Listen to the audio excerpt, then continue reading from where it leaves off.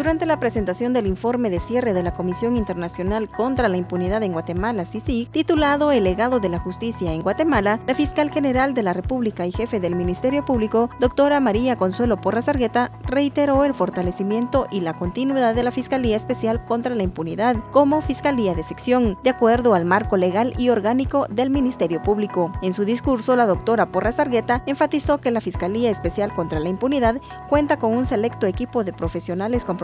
y con vocación, quienes continuarán con sus funciones y a cargo de las investigaciones que tienen asignadas, así como con los nuevos casos que se recibirán relacionados con delitos de corrupción e impunidad que afecta a la sociedad guatemalteca.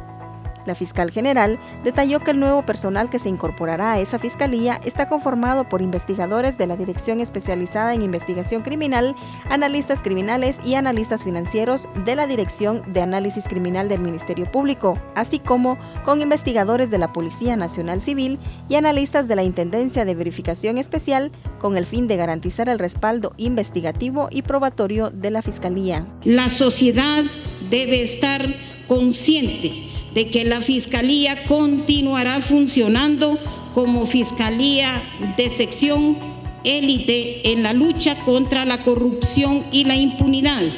y que toda la transferencia de capacidades que a lo largo de tantos años se ha logrado con el trabajo conjunto con la Comisión la doctora agradeció a la CICIG por el apoyo dado al ente encargado de la persecución penal, a la cooperación internacional y a donantes miembros del G13 por la confianza en la labor que desempeña el Ministerio Público.